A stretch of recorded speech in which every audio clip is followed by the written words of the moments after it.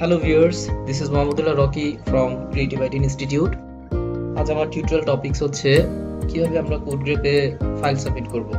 কোডগ্রেপ একটি ডিসেলেবল মার্কেট যেখানে আপনি আপনার তৈরি করা প্রজেক্টগুলো আপলোড করবেন এবং সেটা অ্যাপ্রুভ হওয়ার পর সেল হওয়ার পসিবিলিটি থাকবে। কোডগ্রেপ মার্কেটে একটা আইটেম সাবমিট করতে হলে তাকে বিভিন্নভাবে আগে তৈরি করে নিতে হয় এবং ওয়েল অ্যারেঞ্জ করে যখন আপনি ফাইলগুলোকে রেডি করবেন, তখন আপনি প্রপারলি ওয়েতে যদি এটা সাবমিট করতে পারেন দেন এটা অ্যাপ্রুভ হওয়ার সম্ভাবনা থাকবে। তো ফার্স্ট অফ অল আমরা দেখি যে কোনো একটা প্রজেক্ট সাবমিট করার জন্য আপনাকে কোন কোন ফাইল রেডি করতে হবে। আমরা যেহেতু গ্রাফিক ডিজাইনার আপনি আপনার ডিজাইন রিলেটেড যে কোনো কাজ আপনি কোডগ্রাফ মার্কেটে সাবমিট করতে পারেন। আমরা একটু কোডগ্রাফ মার্কেট যদি একটু দেখে আসি, এই হচ্ছে কোডগ্রাফ মার্কেট এখানে print item themes plugins graphics related সব ধরনের কাজই আপনি সাবমিট করতে পারবেন। ফাইল সাবমিট করার জন্য আপনাকে কোনো একটা প্রজেক্ট প্রথম তৈরি করতে হবে মার্কেট প্লেসের সিস্টেম অনুযায়ী। সে লাইক আমি একটা ম্যাগাজিন সাবমিট করব এখানে, যেটা টোয়েন্টি সিক্স পেজের একটা ম্যাগাজিন একটা মেইন ফাইল রেডি করতে হবে, একটা ইমেজ প্রিভিউ তৈরি করতে হবে, আর একটা থাম্বনেল রেডি করতে হবে। মেইন ফাইলের ভিতর যেগুলো থাকবে আমার পিএইচডি ফাইলগুলো থাকবে, একটা ইনফরমেশন ফাইল থাকবে, একটা হেল্প ফাইল থাকবে। এই বিষয়টা রেডি করে কোডগ্রাফ মার্কেটে সাবমিট করে দেবো। আমার অ্যাকাউন্ট লগ ইন করা আছে, এখান থেকে আমি আমার প্রোফাইল আমার পোর্টফোলিও ভিজিট করতে পারব। ঠিক আছে? যেটা আপনি অ্যাকাউন্ট থেকে গিয়ে আপনার অ্যাকাউন্ট দেখতে পারবেন, আপনার পোর্টফোলিওগুলো দেখতে পারবেন। এই হচ্ছে পোর্টফোলিও লিঙ্ক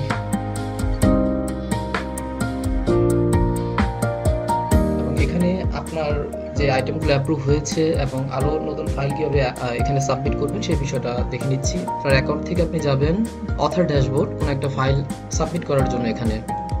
অথার ড্যাশবোর্ডে গিয়ে আপনি কি ধরনের ফাইল সাবমিট করতে চাচ্ছেন সেটা আগে দেখিয়ে দিতে হবে। আমি প্রিন্ট আইটেম সাবমিট করব সো প্রিন্ট আপলোড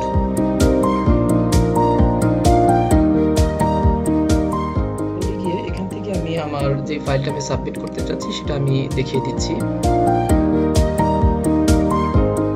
রিকোয়ারমেন্ট অনুযায়ী আমাকে সাবমিট করতে হবে মেইন ফাইলটা ইমেজ প্রিভিউটা আর থাম্বনেলটা এগুলো আপলোডিং হচ্ছে। এই মুহূর্তে আমি যেটা করব, আমি মেইন ফাইলের ভিতরে একটা ইনফরমেশন ফাইল রেখেছি, একটা হেল্প ফাইল রেখেছি। এখানে এগুলোতে কি আছে জাস্ট একটু দেখে নেই। ইনফরমেশন ফাইলে যে লেখাটা থাকে এই লেখাটাকে আপনি কপি করে এখানে ডেসক্রিপশনে পেস্ট করে দেবেন। আপনি আপনার প্রজেক্টের একটা নাম দিবেন।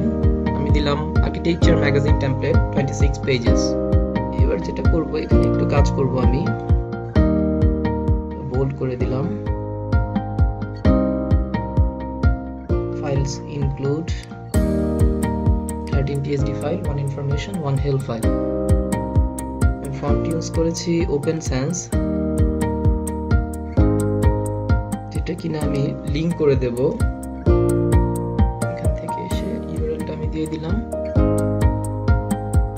ডেসক্রিপশন টেক্সট বক্সটা আমি কাস্টমাইজ করে নিলাম।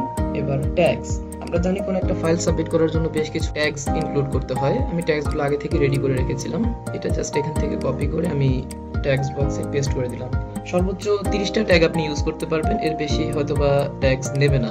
এই ফাইলটার একটা রেট আপনি দিবেন। আপনি যে কোনো ফাইল সাবমিট করেন না কেন মার্কেট প্লেসে দেখে নেবেন যে ওই প্রজেক্টগুলো কি ধরনের রেটে সেল হয়ে থাকে। অ্যাভারেজ ওই ধরনের রেট আপনি দিয়ে দিতে পারেন। যেহেতু টোয়েন্টি সিক্স পেজের এক প্রজেক্ট সাবমিট করতে যাচ্ছি সো এটা আমি থার্টিন ডলার দিয়ে দিলাম। এটা টোটালি ডিপেন্ড করবে আপনার উপর, আপনি আপনার প্রজেক্টটা কত দামে সেল করতে যাচ্ছেন। এখানে আমার ফাইলগুলো আপলোডিং হচ্ছে। রিসেলেবল মার্কেট এমন একটা মার্কেট যেখানে আপনার তৈরি করা প্রজেক্টগুলো আপনি এখানে অ্যাপ্রুভ করানোর পর থেকে ভালো একটা সেল হওয়ার অপশন থাকে এবং রিসেলেবল মার্কেট আমরা সাধারণত গ্রাফিক রিভারকে চিনে থাকি অনেকেই হয়তো কোড কাজ করেন না বাট কোড খুব ভালো মানের একটা মার্কেট হতে চলছে। উইথিন টু ইয়ার্স কোড দেখবেন এখান থেকে খুব ভালো একটা সেল হওয়ার পসিবিলিটি থাকবে। কোড শুধু ফাইল অ্যাপ্রুভ করিয়ে ফেলেই হয় না, এখান থেকে সেল করার জন্য কিছু টিপস অ্যান্ড ট্রিক্স আছে, যেগুলো হয়তো অনেকেই জানেন না, যে আপনারা দেখছেন কোডগ্রাফে ফাইল অ্যাপ্রুভ হওয়ার পর এখান থেকে হয়তো বা সেল হচ্ছে না।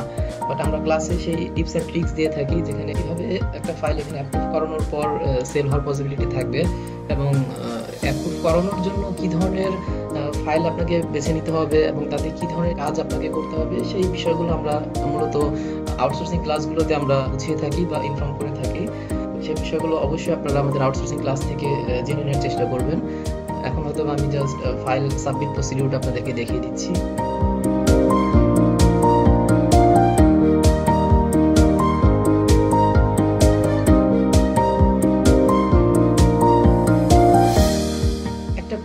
যখন ভ্যারাইটিস আইটেমগুলো থাকবে, তখন এটা সুবিধা হবে আপনার অ্যাকাউন্টটা আপনার প্রোফাইলটাকে ক্লায়েন্টদের কাছে ভালো বলে বিবেচনা করার মতন অবস্থা তৈরি হবে।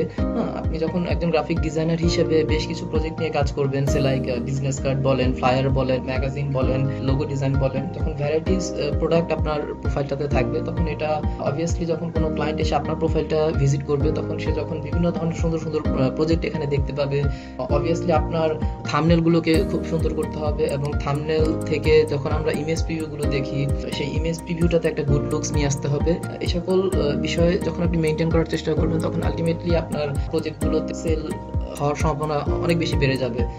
ক্লায়েন্ট যখন আপনার কাজে এসে যখন খুব সুন্দর একটা কাজ দেখতে পাবে, সে যখন ভালো একটা ইমেজ প্রিভিউ দেখতে পাবে হ্যাঁ খুব পরিচ্ছন্নভাবে সাজানো গোছানোভাবে আপনার কাজগুলো থাকবে, তখন এটা আসলে ক্লায়েন্ট হোপফুলি হবে আপনার উপর যে আপনি খুব ভালো ডিজাইন করতে জানেন এবং আপনার ডিজাইনগুলোতে ভালো একটা সেল হওয়ার পসিবিলিটি থাকবে।